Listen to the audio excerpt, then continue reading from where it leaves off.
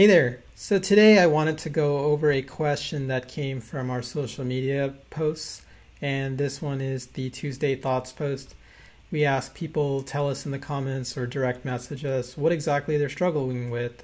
You know, when it comes to web development, JavaScript, we usually look at the messages and then pick the best one, and then what we'll do is send a video reply just like this.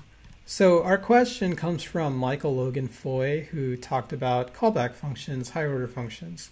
And this is something that comes up quite often at interviews. So I'm actually going to point to our blog post, JavaScript higher order functions explained, which you can get to from javascriptla.net slash blog, and then just look for the post. I'll put a link to this particular post in the video's uh, description below. And I'm going to reference this but if you want more detail, you can certainly read the entire blog post. There's a lot of information and it really goes step by step by step. But for a video format, I feel like maybe it might make sense to just kind of go through it a little bit more quickly, just give you sort of a high level overview. So, all that said, I want to preface this video with you may want to know your JavaScript first right? If you've never done any kind of JavaScript before, you're still a newbie, then make sure you can get through the following. At least be able to write your own function and check it out in a console log. Okay, so with all that said, let's talk about higher order functions. So to get into higher order functions, we first need to know about functions inside functions. So I'm going to take this particular code block here, and then I'm going to go over to a new tab on my Chrome browser and then just right click and hit inspect. And then that's going to bring me up a console. So rather than saving code in a code editor and then running my code somewhere, I'm just going to shortcut and just work with the console in my Chrome browser. This is a neat little shortcut that I usually do a lot of the times when I don't want to like work within a coding editor. So I'm going to bump up the font a little bit here, and then I'm going to paste in our code, and we'll review it each time before I hit enter, and then that way we can take a look at what the result is.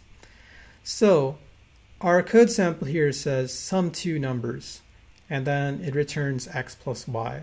So you can see that x is 10 and then y is 20, and when we sum two numbers, the return value will be 30, right? 10 plus 20 is 30 and we can hit enter just to see our result and we get back 30. This undefined just comes from console logging. Uh, console log doesn't return anything. Okay, so we're good with that particular example. Now let's make it a little bit more challenging for ourselves. Let's take that same example. I'm going to refresh the console by just hitting Command R on my keyboard so we have a clean working space. then I'm going to paste in the code and before I press enter we'll review it again. So here, same function, sum two numbers, but this time I've added a twist, and that's the function. So instead of returning x plus y, I'm going to return a nested function. And so what that's going to do is we're going to still call the function just like we did before. We're going to have the 10 and the 20, but the result of this is actually going to be a function expression. So you can think of this as almost like a anonymous function here, right? A function with no name. And that's going to get saved to result. And so when we press enter, we're going to get back an anonymous function. So you might be thinking at this point, well, how do we get the x plus y? What do we need to do? So we need to revise our code slightly so that we can get the result. And so I'll refresh this particular console and paste in the new revised code. And you can see the revise here is that my result gets that function and becomes its own function. This is called a function expression. And when I hit enter, after calling the function here, I get back my value 30. So one more time, I return a function here result is now a function expression. And so in order to get my result x plus y, I have to treat result now like a function as opposed to a variable. And by calling it, I can get the value 30. Hope that's clear. That's the most important part of this video. If you get that, you're in good shape. All right, so let's move on and basically make it a little bit more difficult for ourselves. Because why not, right? Okay, so I want to talk quickly about the idea of declarative versus imperative programming because that's a really important paradigm for understanding this particular video segment. So sometimes you want to do things declaratively, other times you want to do things imperatively. So what does that mean? Declarative means telling somebody or telling something to do something and not really worrying about the details. So when you ask somebody to work for you and do some project, you're trusting that that person will do their job and you don't have to micromanage them. However, in imperative, think Darth Vader, Imperial, right? You're basically micromanaging. You're watching every single part of, you know, the process and just really, really drilling and making sure everything goes it's very manual, it's very tedious. You're making sure every single step is being executed properly. And that's imperative coding, right? So if you think about it, if we use this code sample, which I'm going to point to next, and I'm just going to go back and hit refresh again in the console and paste in this code, you'll see that this is an imperative way of writing code. I'm saying here I've got a total, it's equal to zero, and I want to loop through each index or each value in my loop and then add that to my total. Very, very manual. So it's just, you know, you can almost think of it as like hard coded code, right? Because after that, after I press enter, this total is 45 and now we already have a variable called total. We already had a for loop and an i and all that. So what happens if I want to, you know, do this again? Do I create another variable called total, total two, and then, you know, how long should the loop go on this time? Would it be 100, 1000? You'd say that I'd have to do that for every single case, right? This is not reusable code. So you can think of it as kind of like manual or imperative code, right? I want something a little bit easier for myself that I can use and you know not have to worry about the details, right? Something more declarative. So let's do something to this code. And so what I'm going to do is I'm going to copy this particular code block and hit refresh. And then I'm just going to paste in the code and we'll go through it. So here I'm saying, all right, the most boring part of this code, right, or the most you know tedious part of the code is this for loop. Because of the for loop, I can never really um, change the range, and that's something that is kind of a problem to me. So here I'm going to bury the for loop inside a new function called for range and then make it so that anybody can pass in any kind of range and then do something. So for example, here if I pass in the value 10, 10 will become max range. And then if I want to change it to use in a different for range function, I can make that 100 and then that particular for range will run 100 times or 1000 times. And then this do something you can think of as a function that we haven't defined yet, right? This could be an expression. For now, it's just a basic variable.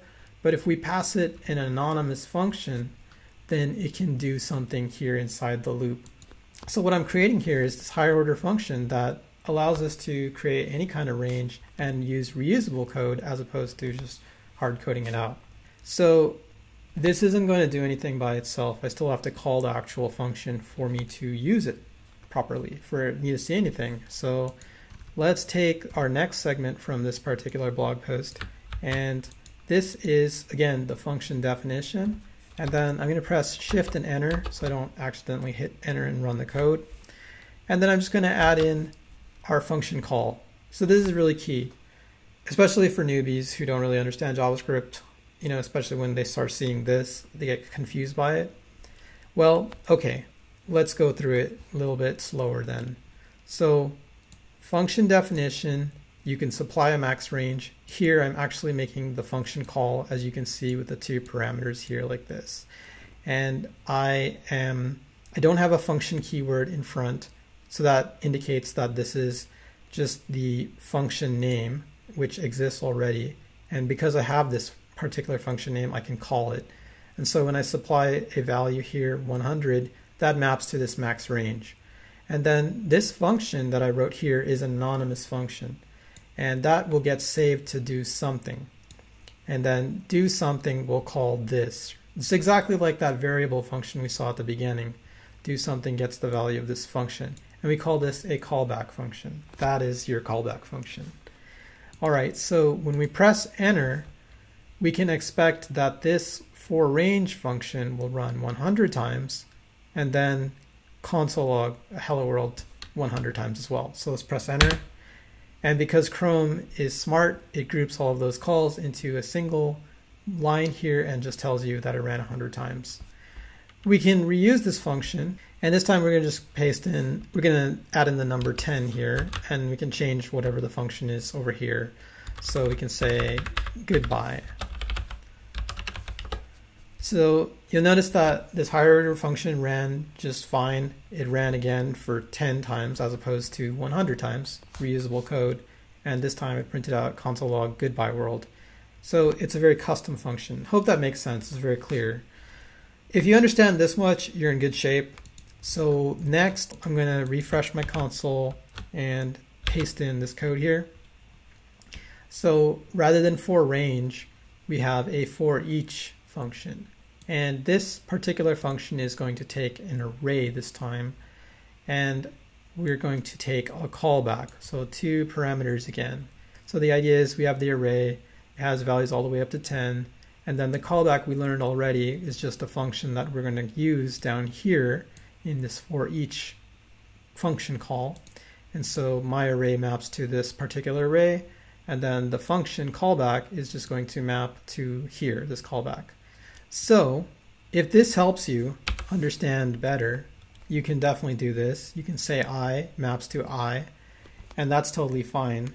But if you know your basic JavaScript, basically when you create a function, internally it just creates an item and sets that to whatever you pass it in as the argument. So that's why item is equal to i. All right, so you'll notice that this code already went ahead and ran. And so what it does is it takes every single uh, item in my array or index in my array and then add it to the result. Now you'll notice that this code is sort of wrong because it is not adding the actual value of the array but it is adding the i value at the time. So it's saying 0 plus 1 plus 2 plus 3 plus 4 plus 5 all the way up to the array length, which would be 10 values, but the last value would be index 9. So let's copy this particular code block and then paste it in here. And then let's modify this slightly and then we'll just say it's array of i. And so what we're saying is we don't want the actual value of i, we want the value at the index of i, so whatever's inside the array. So index of 0 will map to 1, index of 1 will map to 2, index of 2 will map to 3, and so on all the way up to 10. And that way when we press enter, we get back the true result, which is 55. Alright, so one more time to review here for each is a higher order function that we defined. And we defined it by creating a function definition here, and we buried a for loop inside.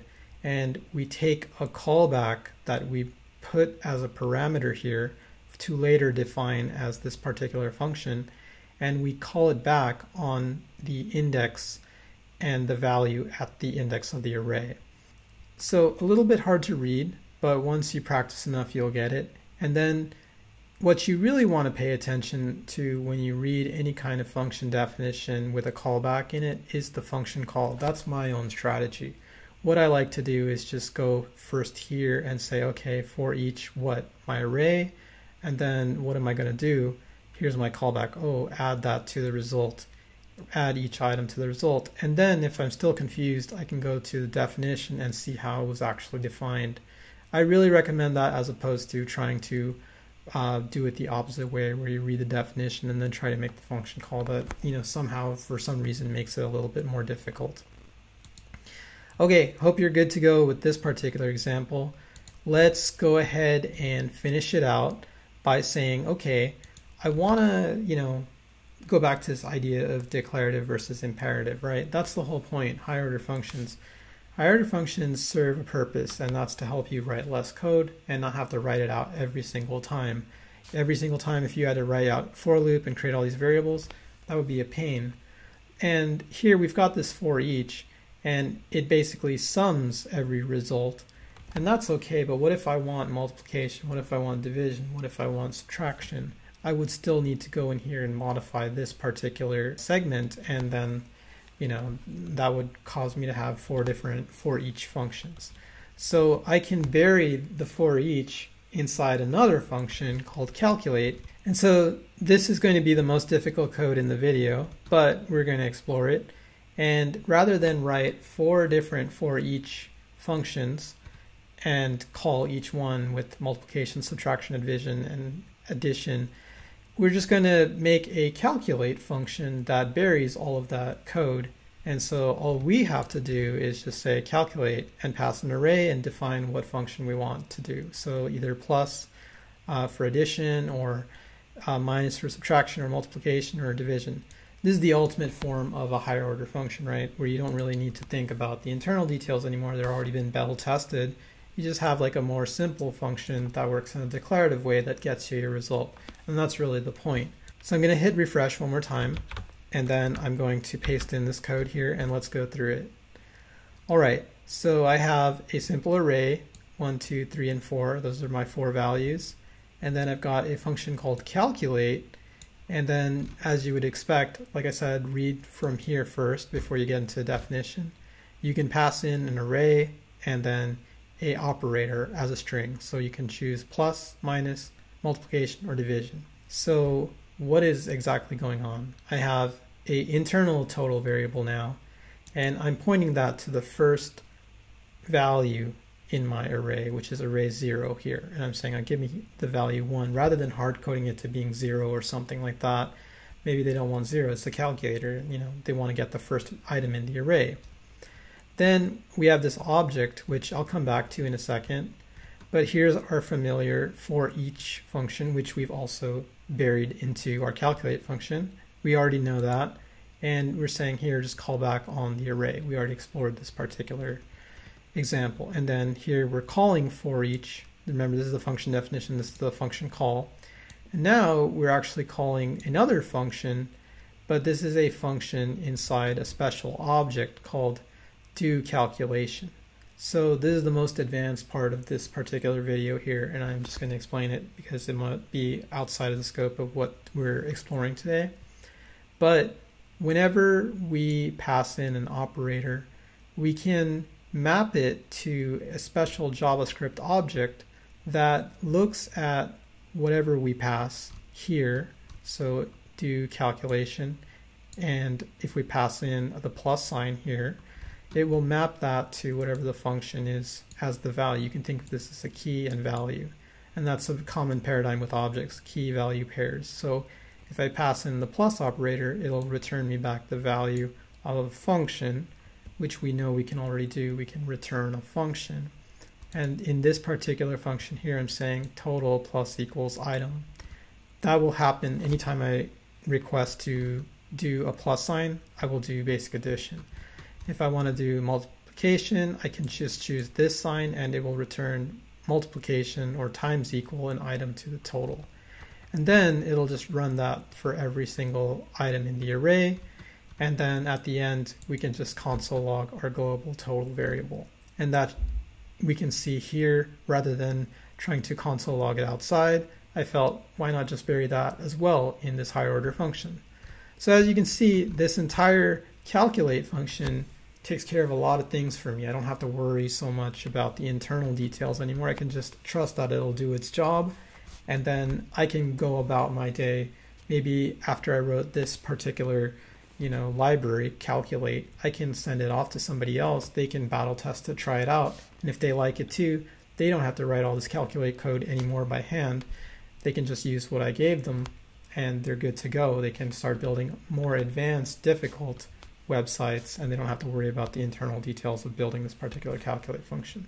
So let's go ahead and press enter just to see our code run and I'll go ahead and do that here. And you can see that I get back 10 and then negative 8, 24 and then 0.4 and this is basically just returning the last value here. But again if you want to just double check for yourself we can just do that real quick. 1 plus 2, 3, 3 plus 3, 6, 6 plus 4, 10 so that's good and then over here negative 8 we can just do 1 minus 2 is uh, minus 1, minus 1, minus 3 is basically minus 4, minus 4, minus 4 is minus 8. So that looks pretty good here.